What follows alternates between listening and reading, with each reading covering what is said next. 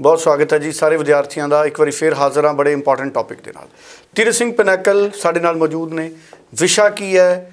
Canada travel ਹੋ ਜੋ ਸਾਵਧਾਨ। ਕਿਉਂ?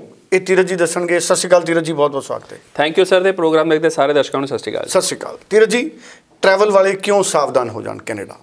ਤੇ ਬਿਲਕੁਲ ਸਰ ਪਹਿਲੀ ਗੱਲ ਤਾਂ ਸਭ ਤੋਂ ਪਹਿਲਾਂ ਮੈਂ ਮੁਬਾਰਕਾਂ ਦੇਦਾ ਇਹ ਵੀਡੀਓ ਨਹੀਂ ਨੈਗੇਟਿਵ ਨਹੀਂ ਹੈਗੀ ਸਿਰਫ ਅਲਰਟ ਤੇ ਅਵੇਅਰ ਕਰਨ ਵਾਲੀ ਹੈਗੀ ਹੈ ਤਾਂ ਅਸੀਂ ਨਹੀਂ ਚਾਹੁੰਦੇ ਕਿਉਂਕਿ ਬਹੁਤ ਸਾਰਾ ਬੱਚਾ ਖੁਸ਼ ਆ ਪੇਰੈਂਟਸ ਖੁਸ਼ ਆ, ਤੇ ਅਸੀਂ ਤਾਂ ਚਾਹੁੰਦੇ ਇਦਾਂ ਹੀ ਉਹਨਾਂ ਦੀ ਖੁਸ਼ੀਆਂ ਨਾ ਜਿਹੜੀਆਂ ਕਾਇਮ ਰਹਿਣ, ਵਧੀਆ ਬੱਚੇ ਸਿਰੇ ਲੱਗਣ।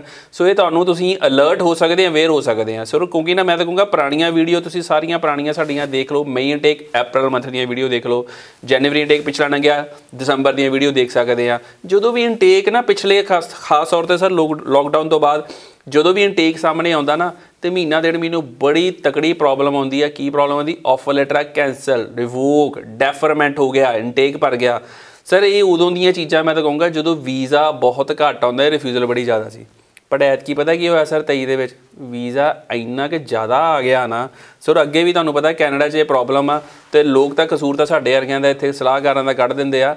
ਸਰ ਮੈਂ ਤਾਂ ਕਹੂੰਗਾ ਕੈਨੇਡਾ ਦੇ ਕਾਲਜ ਦੇ ਕੋਈ ਕਸੂਰ ਨਹੀਂ ਕੱਢਦਾ, ਤੇ ਕੈਨੇਡਾ ਹਮੇਸ਼ਾ ਇਹ ਚੀਜ਼ਾਂ ਰਹੀਆਂ ਵਾ। ਉਹਨਾਂ ਕੋਲ ਆਫਰ ਲੈਟਰਾਂ ਜ਼ਿਆਦਾ ਇਸ਼ੂ ਹੁੰਦੀਆਂ ਤੇ ਸੀਟਾਂ ਘੱਟ ਹੁੰਦੀਆਂ। ਤੇ ਸਰ ਹੁਣ ਤੁਹਾਨੂੰ ਵੀ ਪਤਾ ਕਿ ਆ ਪਿਛਲੇ ਦਮੇ 'ਚ ਕਿੰਨਾ ਵੀਜ਼ਾ ਆਇਆ। ਤੇ ਹੁਣ ਕੀ ਆ ਵੀਜ਼ਾ ਆ ਗਿਆ, ਬਹੁਤ ਖੁਸ਼ੀ ਆ ਤੇ ਹੋਣਾ ਵੀ ਚਾਹੀਦਾ ਜੀ, ਸਾਡਾ ਕਾਰੋਬਾਰ ਵੀ ਵੀਜ਼ੇ ਨਾਲ ਹੀ ਚੱਲਣਾ ਵਾ। ਬਟ ਹੁਣ ਇਹ ਹੈਗਾ ਵਾ ਕਿ ਬੱਚਾ ਹੁਣ ਨਾ ਟਿਕਟ ਬੁੱਕ ਕਰਾਉਣ ਨੂੰ ਕਹਿ ਰਿਹਾ ਕਿ ਮੈਂ ਟਿਕਟ ਹੁਣੀ ਬੁੱਕ ਕਰਾਣਾ ਕਿੰਨੇ ਦਿਨ ਪਹਿਲਾਂ ਜਾਵਾਂ। ਤੇ ਅੱਜ ਮੈਂ ਦੱਸ ਵੀ ਦਵਾਂ ਕਿ ਮਹੀਨੇ ਕਿਤੇ ਅਰਾਊਂਡ ਹੀ ਟਿਕਟ ਬੁੱਕ ਕਰਾਏ, ਉਸ ਤੋਂ ਪਹਿਲਾਂ ਟਿਕਟ ਬੁੱਕ ਨਹੀਂ ਕਰਾਉਣੀ। ਸੋ ਇਸ ਚੀਜ਼ ਤੋਂ ਵੀ ਅਲਰਟ ਹੋ ਬਟ ਮੈਂ ਮੁਰੇ ਮੁੱਦੇ ਤੇ ਆਉਣਾ, ਜਿਹੜਾ ਕਿ ਨਾ ਡਰ ਪ੍ਰੋਬਲਮ ਆ ਸਕਦੀ ਆ ਕਿ ਤੁਹਾਡੀਆਂ ਸੀਟਾਂ ਕੈਨਸਲ ਹੋ ਸਕਦੀਆਂ। ਕੋਈ ਤੁਹਾਨੂੰ ਵੀ ਦੱਸਦਾ ਕਿ ਵੀਜ਼ਾ ਕਿੰਨਾ ਆ, ਤੋਂ ਬਟ ਇਹਦਾ ਪ੍ਰੋਬਲਮ ਇਹਦਾ ਪਰ ਹੱਲ ਵੀ ਦਵਾਂਗੇ। ਡਰਾ ਨਹੀਂ ਰਹੇ ਤੁਹਾਨੂੰ। ਹੱਲ ਇਹਦਾ ਕੀ ਹੈਗਾ ਵਾ?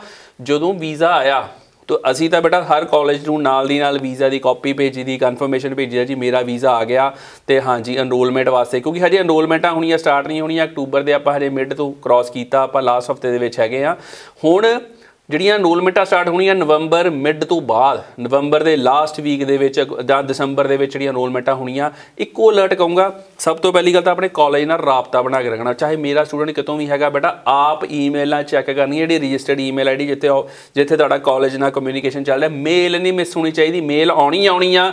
ਤੁਹਾਡਾ ਕੀ? ਹਾਂਜੀ ਟਾਈਮ ਆ। ਸੋ ਟਾਈਮ ਰਹਿੰਦੇ ਹੋਏ ਆਪਣਾ ਕੋਰਸ ਸਿਲੈਕਟ ਕਰਨੇ ਪੈਂਦੇ। ਮੈਂ ਪਹਿਲੇ ਸਮੈਸਟਰ 'ਚ ਕਿਹੜੇ ਕਿਹੜੇ ਸਬਜੈਕਟ ਪੜ੍ਹਨੇ ਆ। ਸੋ ਬੇਟਾ, ਹੁਣ ਆਪਾਂ ਪੜਨ ਵਾਲੇ ਪਾਸੇ ਆ ਜੀ ਵੀਜ਼ੇ ਤਾਂ ਲੱਗ ਗਿਆ। ਸੋ ਸਬਜੈਕਟ ਵੀ ਚੂਜ਼ ਕਰ ਲੈਣੇ ਆ। ਅਨਰੋਲ ਵੀ ਹੋ ਜਾਣਾ ਵਾ। ਤਾਂ ਕਿ ਆਪਾਂ ਡੈਫਰਮੈਂਟ ਵਾਲੇ ਪਾਸੇ ਰਿਵੋਕ ਵਾਲੇ ਪਾਸੇ ਨਾ ਹੋਵੇ। ਤੇ ਬਿਲਕੁਲ ਇਹ ਹੋ ਸਕਦਾ ਕਿ ਫਰਸਟ ਕਮ ਫਰਸਟ ਸਰਵ ਹੋਵੇ। ਮਤਲਬ ਕਿ ਜਿਹੜਾ ਪਹਿਲਾਂ ਆਇਆ, ਪਹਿਲਾਂ ਸੀਟ ਬੁੱਕ ਕਰਾ ਗਿਆ। ਇਹ ਚੀਜ਼ਾਂ ਹੋਣੀਆਂ ਵਾ। ਹੁੰਦੀਆਂ ਆਈਆਂ ਵਾ। ਤੇ ਅੱਜ ਮੈਂ ਪਹਿਲੇ ਦੱਸਦਾ, ਜੇ ਕਿਸੇ ਨਾਲ ਹੋ ਵੀ ਜਾਂਦੀ ਨਾ, ਉਹ ਦਿਲ ਨਾ ਛੱਡਿਓ, ਕੋਈ ਨਹੀਂ, ਅਗਲੇ ਇਨਟੇਕ ਚੱਲ ਜੂਗਾ ਵੀਜ਼ਾ ਨਹੀਂ ਕੈਨਸਲ ਹੋਣ ਲੱਗਾ, ਨਾ ਹੀ ਵੀਜ਼ਾ ਆਫੀਸਰ 에어ਪੋਰਟ ਤੇ ਪੁੱਛਦਾ, ਤੂੰ ਲੇਟ ਕਰ ਲਈ ਆਇਆ? ਸੋ ਇਹ ਦੀਜਾ ਕਾਮਨ ਆ ਬਟ ਹਾਂ ਟਰਾਈ ਕਰੋ ਕਿ ਇਹ ਚੀਜ਼ਾਂ ਕਰੋ। ਤੇ ਹਾਂ ਕਾਲਜ ਆਪਣੀ ਮੈਂ ਪਹਿਲੇ ਦੱਸਵਾ ਟਿਕਟ ਬੁੱਕ ਕਰਾਉਣ ਦੀ ਕਾਲੀ ਨਾ ਕਰੋ। 10 15000 ਰੁਪਏ ਬਚਾਓ ਨਾ ਪਹਿਲੋ। ਪਹਿਲੋ ਆਪਣੇ ਕਾਲਜ ਨਾਲ ਰਾਬਤਾ ਸ਼ੁਰੂ ਕਰਾ ਕੇ ਗੱਲਬਾਤ ਕਰਕੇ ਫਿਰ ਟਿਕਟ ਬੁੱਕ ਕਰਾਓ। ਤੇ ਹੁਣ ਮੈਂ ਦੂਜੇ ਪਾਸੇ ਵੀ ਆ ਜਾਂਦਾ। ਸਰ, ਕਈ ਬੱਚੇ ਮੈਨੂੰ ਕਹਿ ਰਹੇ ਆ ਕਿ ਕਲਾਸਿਸ ਸਟਾਰਟ ਸਰ ਨਾਰਮਲੀ 7 6 7 8 9 10 ਇੱਥੇ ਕਿ ਲੱਗੇ ਕਲਾਸਿਸ ਸਟਾਰਟ ਹੋਣੀਆਂ। ਬੱਚਾ ਮੈਂ ਨਵੰਬਰ ਚ ਜਾ ਸਕਦਾ। ਬੜੀ ਕਾਲੀ ਪਈ ਹੋਈ ਫਟਾਫਟ ਚੱਲ ਜਾਵਾਂ। ਬੜਾ ਐਮਬੈਸੀ ਦੀ ਸਾਈਟ ਤੇ ਚੱਲ ਜਾਓ ਕਹਿੰਦੇ ਕਿ yes you can come any time but you need a strong reason why you come earlier ਪਹਿਲੋ ਕਿੰਨਾ ਹੁੰਦਾ ਸੀ? 3 ਹਫ਼ਤੇ। 3 ਹਫ਼ਤੇ ਮੀਨਸ 21 ਦਿਨ, ਫਿਰ ਹੋਇਆ 4 ਹਫ਼ਤੇ, ਦੁਬਾਰਾ ਫਿਰ 3 ਹਫ਼ਤੇ ਚਲਾ ਗਿਆ। ਪਰ ਮੈਂ ਐਡਵਾਈਸ ਕਰਨਾ ਬੜਾ 4 ਹਫ਼ਤੇ ਮਹੀਨੇ ਕਦੇ ਵਿੱਚ ਜਾਓ, ਨਵੰਬਰ ਦੇ ਵਿੱਚ ਕੋਈ ਵੀ ਬੱਚਾ ਜਨਵਰੀ ਟੇਕ ਵਾਲੇ ਨੂੰ ਟਰੈਵਲ ਕਰੂ ਮੈਂ ਨਹੀਂ ਸਲਾਹ ਦਿੰਦਾ। ਮੈਂ ਕਹਿੰਦਾ ਪਹੁੰਚ ਵੀ ਜਾਵੇ ਬਟ ਰੱਬ ਨਾ ਕਰੇ, ਜੇਕਰ ਸਵਾਲ ਗਿਆ, ਨਵਾਂ ਜਵਾਬ ਹੋਇਆ, ਤਾਂ ਉੱਥੋਂ ਸਿੱਧਾ ਵਾਪਸ ਆਏਗਾ।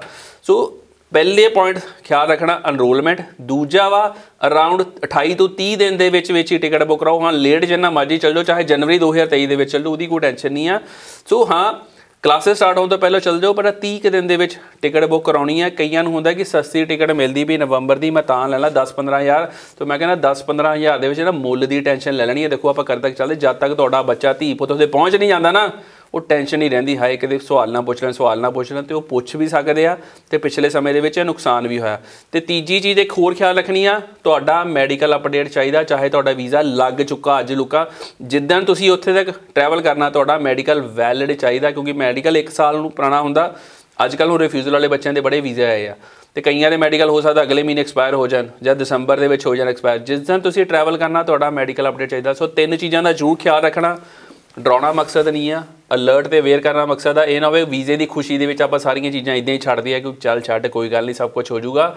ਬਟ ਇਹ ਚੀਜ਼ ਚੈੱਕ ਜ਼ਰੂਰ ਕਰਨੀ ਆ ਕਾਲਜ ਦੀ ਈਮੇਲ ਟਾਈਮਲੀ ਅਨਰੋਲ ਹੋ ਜਾਣਾ ਤੇ ਤੁਹਾਡਾ ਜਿਹੜਾ ਕੀ ਹੈਗਾ ਵਾ 4 ਹਫ਼ਤੇ ਦੇ ਵਿੱਚ ਜਿਹੜੀ ਕਿ ਆਪਣੀ ਸਿਗ- ਟਿਕਟ ਬੁੱਕ ਕਰਾਉਣੀ ਆ ਤੇ ਤੁਹਾਡਾ ਮੈਡੀਕਲ ਜਿਹੜਾ ਕੀ ਆ ਵੈਲਿਡ ਚਾਹੀਦਾ ਤੇ ਉਮੀਦ ਕਰਦਾ ਵਾਂ ਖੁਸ਼ੀ ਕਾਇਮ ਹੀ ਰਹੇਗੀ।